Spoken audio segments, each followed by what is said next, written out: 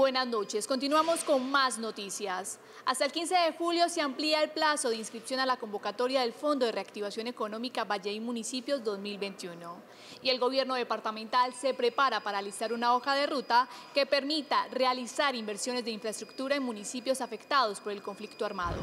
Emprendedores y microempresarios vallecaucanos tendrán un mes más para inscribirse y participar en el Fondo Valle y Municipios 2021, gracias a la ampliación de fechas para esta convocatoria anunciada por la gobernación del Valle del Cauca. Quiero decirles que siguiendo instrucciones de nuestra gobernadora, la doctora Clara Luz Roldán, pues hemos ampliado la convocatoria Valle y municipios, donde tenemos 25 municipios participando por 13.740 millones de pesos hasta el 15 de julio a las 6 de la tarde. Hasta el momento, más de 3.500 vallecaucanos se han inscrito en el Fondo Valle y Municipios. Los interesados podrán acceder a las asesorías gratuitas que ofrecen los profesionales de Valleín escribiendo al correo electrónico de los líderes que aparecen en pantalla.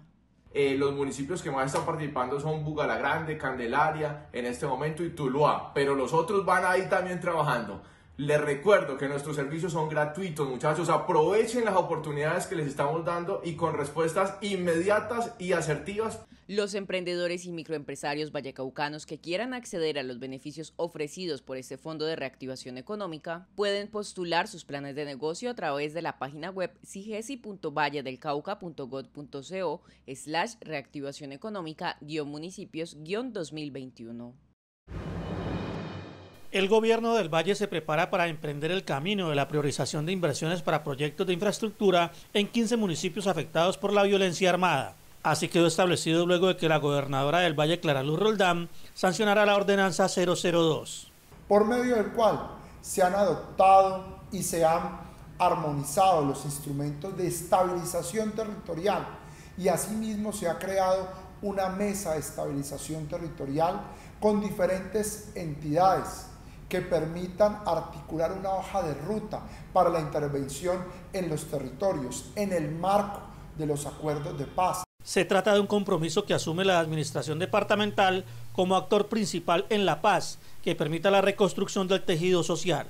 Teniendo en cuenta que el Valle del Cauca tiene tres municipios PD, tres municipios más PISDA y nueve municipios más que entran en la categoría SOMAP, en los cuales son 15 municipios que entran en este contexto de las estrategias de estabilización territorial.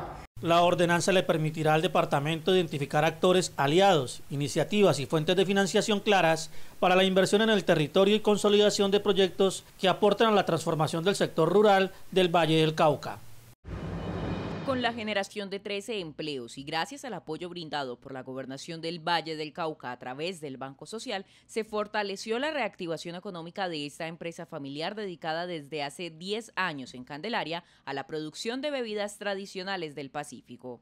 El Banco Social le ha servido de mucha ayuda a mi, negocio porque a raíz de la pandemia hubieron muchas bajas en ventas entonces, con el, el programa me ayudó mucho para fortalecer más el negocio. Este emprendimiento vallecaucano obtuvo un crédito por 3 millones de pesos. Además, sus representantes accedieron a un diplomado gratuito sobre comercialización, mercadeo y administración de empresas. Conociendo este bello emprendimiento que lleva hace 7 años, 10 años ya, y tiene por nombre Richard, gracias al Banco Social, eh, a Microcrédito y al Diplomado de Mujeres Empoderadas y Luchadoras, está hoy aquí con nosotros. Y es una mujer emprendedora y empoderada. Con Richard, su gran empresa, vende arrechón, seco.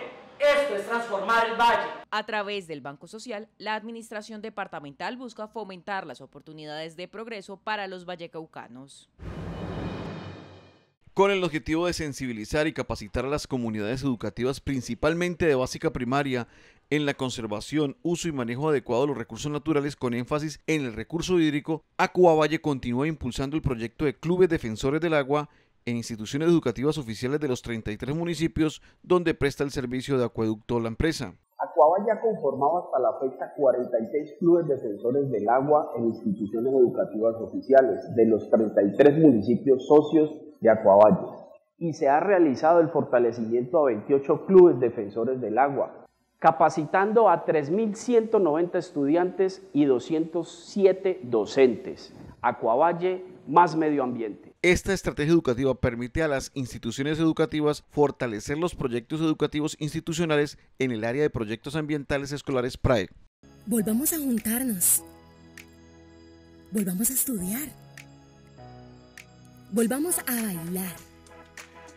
Volvamos a sonreír. Vacunate. Entre más personas estén protegidas, lo estaremos todos.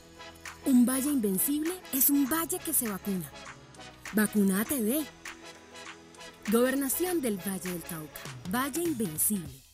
Finalizamos nuestra emisión y recuerde ingresar a nuestra página web www.valledelcauca.gov.co para ampliar estas y otras noticias de la región.